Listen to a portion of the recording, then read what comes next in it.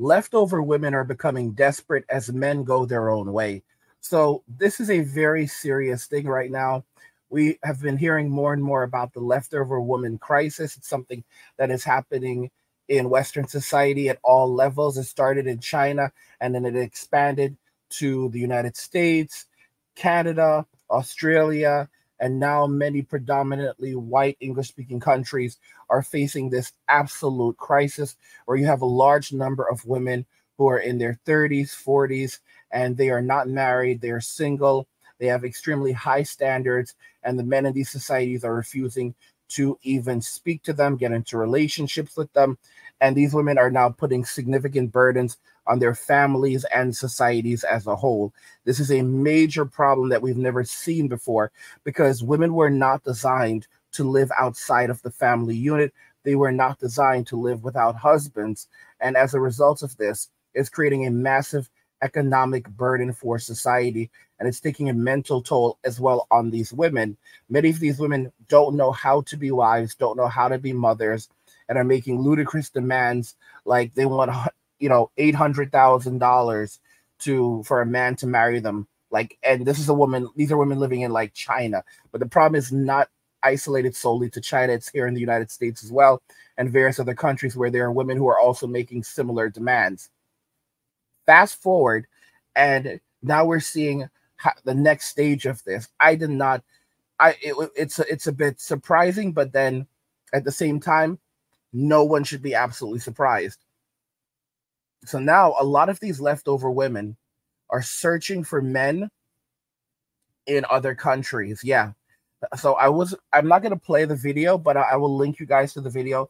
There's a channel called Asian Love Mates, and it's this video is titled Stunning Chinese Girl Girls Seek True Love Outside Asia.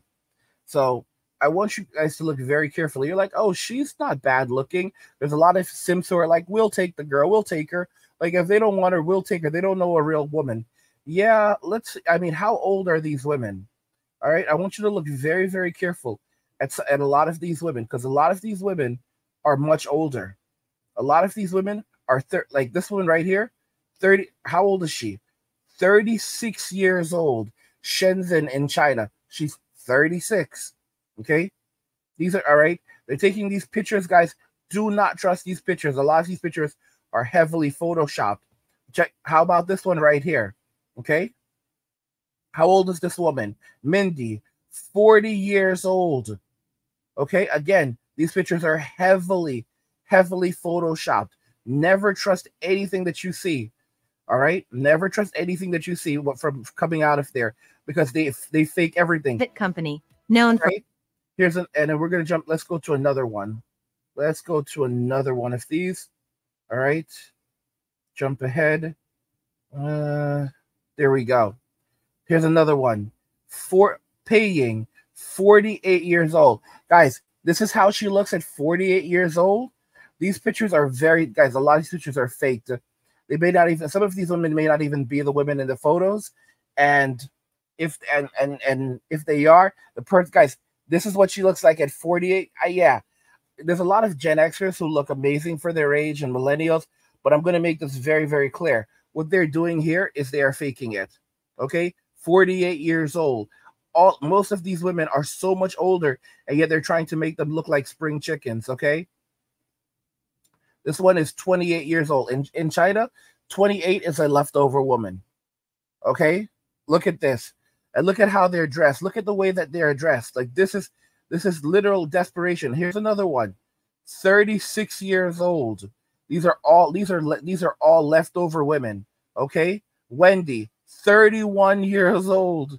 Uh, guys, this is this this is this this is a major breakdown. Okay? Here's another men.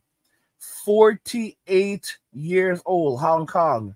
It's getting they are getting so desperate out there right now. And of course, you're gonna have these idiots beautiful China dolls, very interesting. Little said, Don't even trust the messages because a lot of these people they will fake the comment. Like they will actually fake the comments. They fake everything. They fake absolutely everything. All right. So you have to be so careful. That's why I've warned you guys to like stay away from these dating platforms. A lot of them, you like go like if you want to go to the Philip if you want want to meet a woman in the Philippines, do not meet her on a dating platform. Stay the hell away from them. Selena, 36 years old. All right. She's from Zen, Zenzhou, China. Okay. Okay. Queena, Queena, 34 years old. Guys, this is total BS. Total and utter, totally and utter BS. Tiffany, 28 years old. All right. They are tr- they are running, they are literally running this scheme and scam on men. And then if you look, guys, if you look at the actual, like here's a picture from like one of the events, none of the women at this table look like the women in those pictures. Do you see this? Look at the picture. Look at the faces of these women. None of these women look anything like the women in those photos. So 100% faked, completely faked. Like they are faking the whole damn thing. Look at look at this. Look at the Cebu tour. Guys, they are totally ripping us off. This is actually a I don't know if this is this might be a Filipina. But they are fake they are completely faking it. See that? Look at this. This oh she's old. She's guys, these these are not these are not even their real photos, or they're heavily photoshopped photos. Heavily photoshopped photos. All right. These leftover ladies are going ballistic. They are trying to like find men in other countries now so they can demand, you know, lives of luxury and comfort and enter into their so-called soft girl era. All right. After feminism didn't work out for them, like they, you know, they're gonna keep the feminism, but you know, they're gonna keep the feminism and everything that they got for them, but they don't want to except for the consequences. Okay. Like this is how they think they're going to make out of this situation they are going to be able, they're going to avoid the consequences of choosing to be saying that I'm independent and I, am this and I'm that and all the horrible things that have happened as a result of the choices and decisions that they've made. You know, if you look at men, men have been ostracized from society, men have been pushed out of society. And now they want men to come and rescue them, but they don't. They don't just want any man. They want the six six six guy. He has to be at least six feet tall, make above six figures a year, and have a six pack. It's an utter joke. It's a complete and utter joke. And then, of course, all the while, you know, that's the guy they say they want, but they don't actually love that guy. They will never love that guy. The men that they actually love are these guys, all right? Little Panchito. They love Little Pancho. They love Little Pancho. This is the man that they love. This is the man that they want. This is the man who makes their hearts beat. Pancho and Sancho, these two dudes right here. All right. While you're at work, these are the dudes that are laying in your bed, farting in your bed, peeing on your pillow. All right. Because they have bladder leaks now, spilling tequila everywhere. These are the dudes that they actually love. They don't love you. They don't love you. They just need you. Do not simply go where you are needed. All right, go where you are celebrated and go where you appreciate go where you are appreciated because just co- just because they need you does not actually mean that they want you. By and, so, and as soon as they don't need you anymore, they will get rid of you, and it's you're not gonna like it. All right, you will not enjoy it. By the way, if you're enjoying the content on this channel, you want even more of this content, consider guys consider checking out my newsletter. It's something a little bit different. I get to share my personal thoughts and ideas with you guys it's really chill. It's completely free. You can go, you can find a link to it in the description of the video.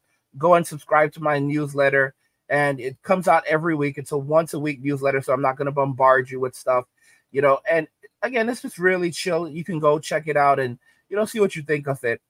But yeah, we also have another community for you guys called the Angry Guy Community.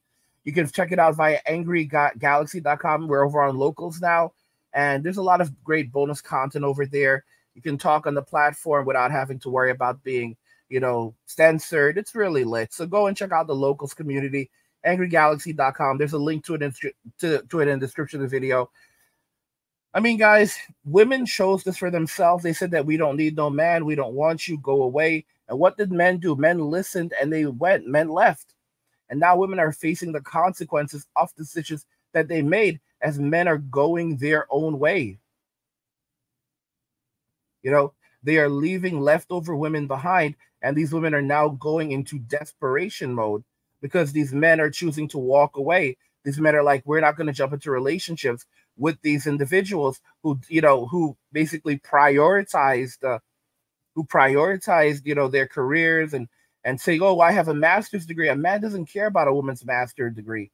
All right. The only people, when it comes to relationships and dating, the only person that cares about status is a woman. There are a lot of men who would, who would, who are most men, in fact, all right, would, would will choose the girl, the cute girl working at McDonald's over Taylor Swift. A lot of, in fact, a lot of guys, her being Taylor Swift will be an off-putting thing for them. They'll they'll choose the cute girl working at McDonald's who's still fit, feminine, and friendly.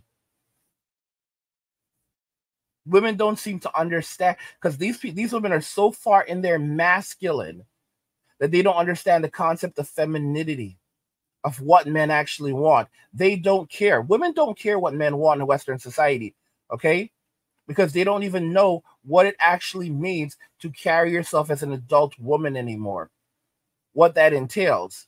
Because they spend they've spent their lives living as masculines with all of that masculine energy, so they don't even understand what you know, how does a lady carry herself? You know, how does an adult woman behave? What does a man actually want they don't care. Okay? Because they have masculine energy. And they don't understand that men, the, the men do not like masculine energy. The only people that rock with that are simps. The average man, the typical man, cannot stand mask that masculine energy around them. You know, it's off-putting. And a lot of guys end up walking away because they just can't tolerate it. No one wants that. No one wants that. And a lot of them were warned, you know, do not do this. And then you have all a lot of, all, all of these women who are crying, like, I had to go to school and get that medical degree. I had to get that law degree. I had to survive. All right. I, I had to do those things. All right, bro. Now you have to be alone. Now you have to be alone and take and face the consequences for this. And you're telling young girls like they they should go out and do the same things that you did and they can have it all while you have literally nothing. All right.